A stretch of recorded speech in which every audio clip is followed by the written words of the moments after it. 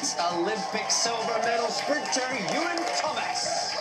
Actress and fashion designer, the beautiful Mischa Barton, is here. And check this lot out. I'll be heading off in my beat bus to celebrate good crack with yet another country. And these guys are actually a little clue. That's right, it's France! Laura.